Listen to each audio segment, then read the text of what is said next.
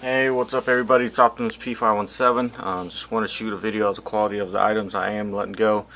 There are five pairs, too close, five pairs of the Nike Elite socks. I actually opened three to try them on. I thought I was going to keep them. Didn't like how they look, you know. I, I got some pretty thick calves. So, anyways, um, just tried on, never worn. Got the black and orange ones. Conditions are brand new. Got the midnight blue. Same thing. Tried on, never worn.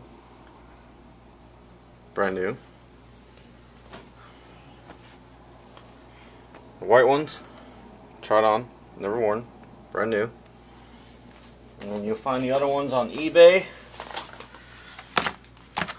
These are leftovers that I have. I have couple more pairs of whites, one more pair of Royals. I think this is my last pair of red, maybe one more.